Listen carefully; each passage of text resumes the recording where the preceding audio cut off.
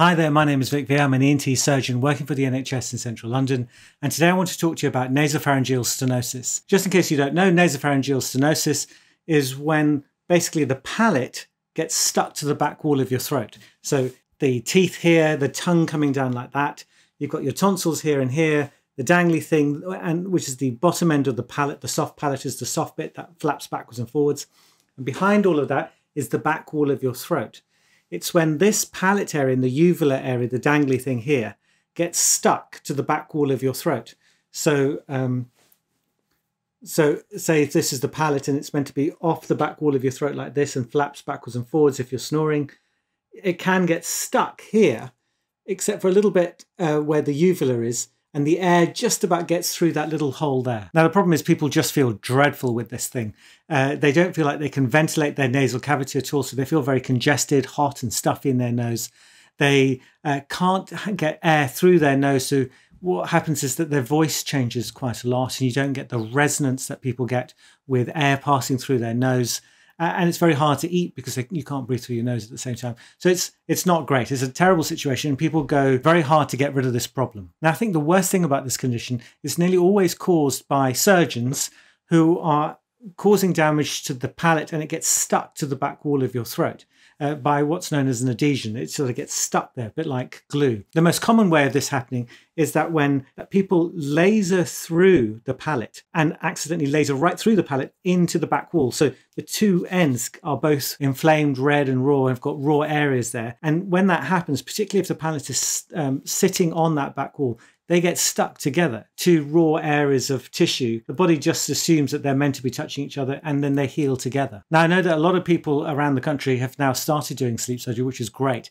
If you're going to start doing sleep surgery, please be careful of this problem. Uh, so, this is the reason I never use uh, CO2 lasers for anything in um, well, once every so often I do, but for a different reason altogether. If you're not very careful, you have to make sure, firstly, that you've got protection between the palate and the back wall of your throat. So you should put, I'm going to put my wallet in the way, uh, you put your um, a bit of tissue or gauze there. So when you're lasering through the palate, if that's what you really want to do, it doesn't go through into the back wall of your throat. And the other thing you should make sure is that you have to make sure that the palate is not resting on the back wall of your throat. Uh, that, that, seems a bit weird, but let me explain that. If you look into a child's mouth or, or anyone's mouth who isn't a snorer, if you look in their mouth like this, You'll see the tongue going down like that. You'll see maybe tonsils left and right and the uvula there. And you'll see a big space between the uvula and the palate, the soft bit there, and the back wall of your throat. You'll see a palpable distance, what we would call the retropalatal distance. And those people don't snore, don't have sleep apnea. Whereas if you look at someone who does snore very, very loudly and you look carefully at it, you'll see that the palate and uvula area is quite congested and swollen and sort of boggy and it's slap bang and sitting on the back wall of your throat nearly all the time. Um, and it, it, seems very obvious when you look at people, you go, oh, there's a problem here. This looks very different to someone else altogether.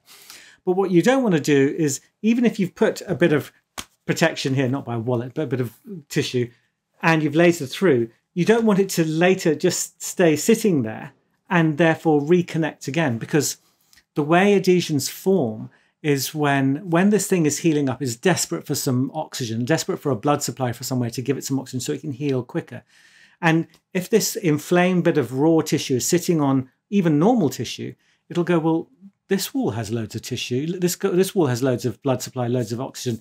I'll attach myself to it so the blood vessels can come through that attachment and feed me oxygen feed me blood so that I can heal up. I mean it doesn't think like that but you understand my meaning uh, this same thing, uh, adhesions happen in Crohn's disease and uh, other diseases, infections in the stomach.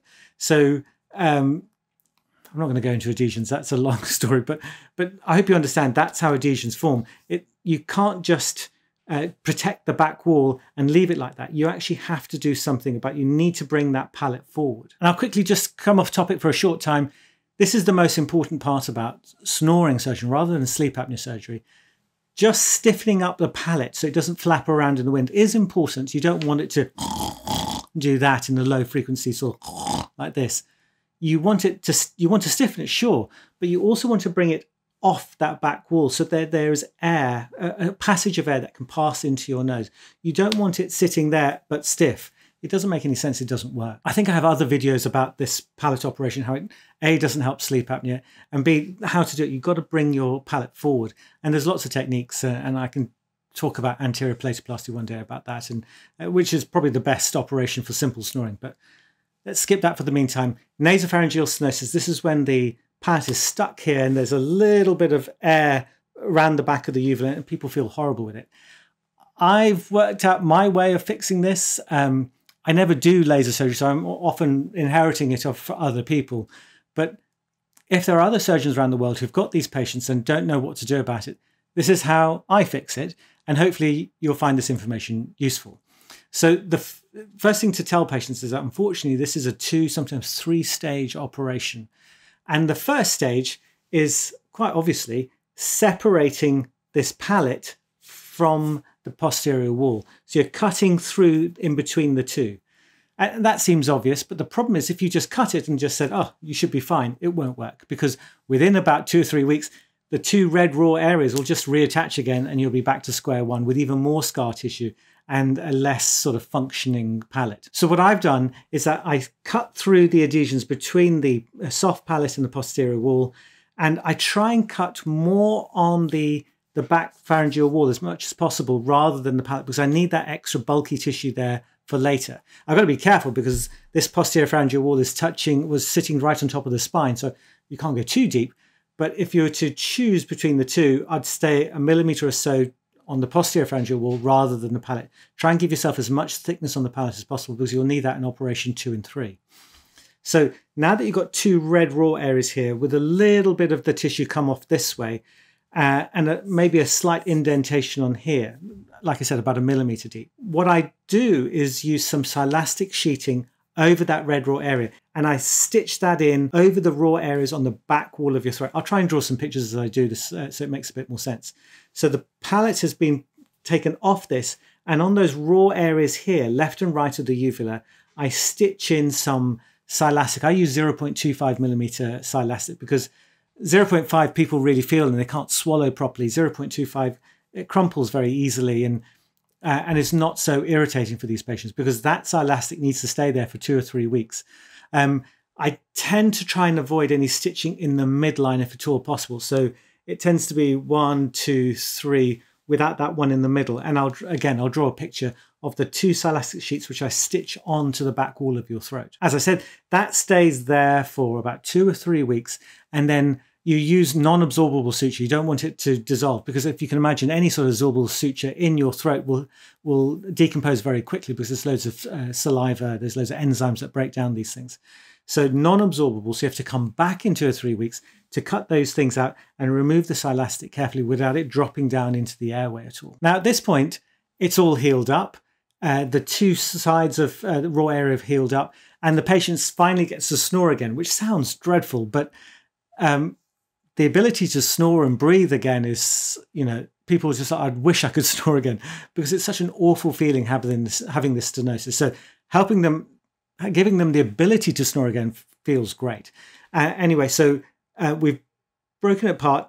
There's there's now uh, two areas which should not heal together, but they're still stuck to each other.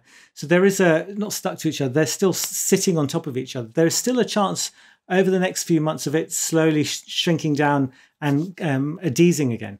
So you have to make sure now that the silastic has been removed in operation two to try and bring that palate forward. Now, if you're lucky, you've got a big, fat, sort of chunky palate, uh, and you can just do an anterior palatoplasty and lift the whole thing forward uh, and stop this from attaching itself back again. You may use the barb suture palatoplasty uh, or palatopharyngoplasty if need be. And I don't think I've talked about those two operations yet on this channel. I do need to get onto those things. But there are lots of techniques basically to bring the palate forward and maybe hitch it up a little bit to a normal level. What you don't want to do is change the palate at all so that it's in, in an abnormal position because sometimes uh, you get side effects of not having a functioning palate. When the point of the palate is when you drink some water or some eat some food, it stops the food from going up into your nose. It lets it go down into your throat. And when you're breathing normally, it comes through your nose. So it's a flap that goes backwards and forwards. You need it to be functional for you to have a normal life. So that's why when it's stuck like that, it's, it's people absolutely hate it. They didn't realize how important the palate is once it's done that. Anyway, so um, you use and either an anterior plasty if the thickness of the palate is quite thick. Sometimes I worry about that because it's just had an operation, and sometimes a barb suture if that's not going to cause a pinhole or if that's going to cause a fistula, that's okay. And you sort of judge it on its own merit. So just be good at both of those operations before you uh, attempt this operation.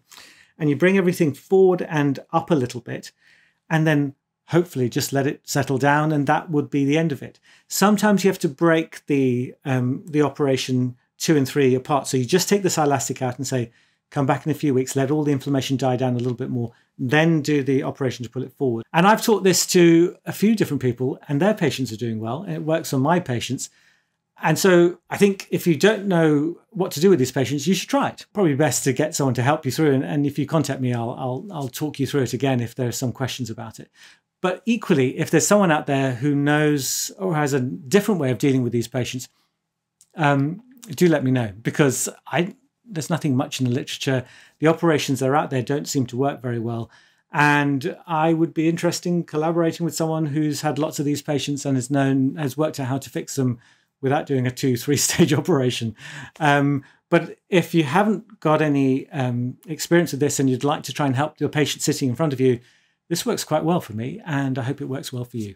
Anyway, thank you very much. Bye bye.